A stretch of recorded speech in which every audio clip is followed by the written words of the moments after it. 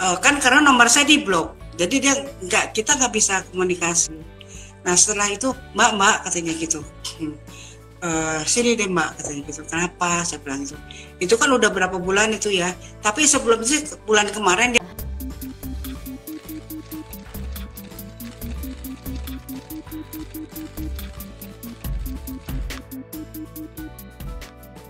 Dituding tak mengakui ibu kandung sendiri bahkan menelantarkan ibu kandung, Fitri Sahul Teru kini jadi sorotan.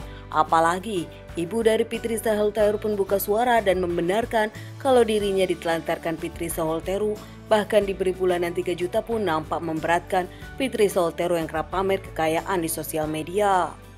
Menyatakan bahwa saya tidak pernah ditelantarkan oleh anak saya yang bernama Fitri Sahul Teru.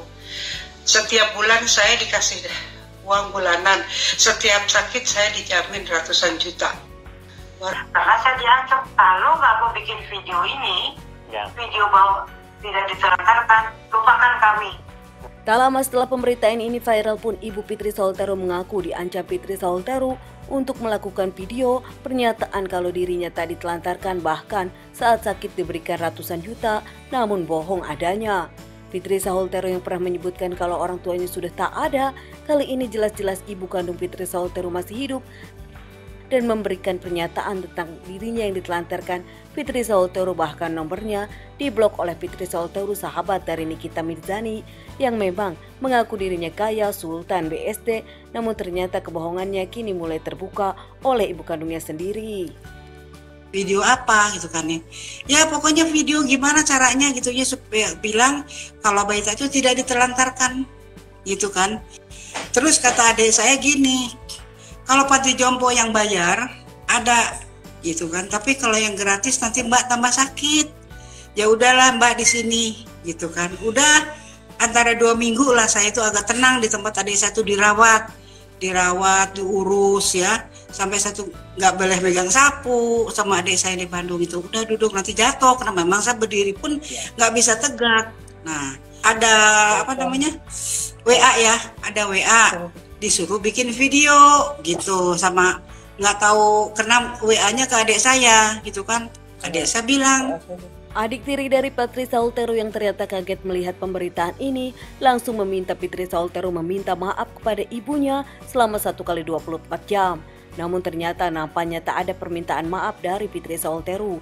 Kini ibu Fitri Solteru pun dibantu oleh musuh-musuh dari Fitri Solteru untuk tinggal layak bahkan untuk usahanya dibantu musuh Fitri Solteru. Nikita Mirzani adik angkat dari Fitri Solteru pun membantu Fitri Solteru menjelaskan ibu Fitri Solteru dengan musuh-musuhnya hanya ingin memojokkan Fitri Solteru yang kini akhirnya memberikan klarifikasi dan memberikan pernyataannya setelah banyak pemberitaan terhadap dirinya. Pagi saya Lormon, uh, terima kasih banget. Beberapa hari ini aku lihat uh, begitu kejam fitnah-fitnah terhadap aku dan keluarga.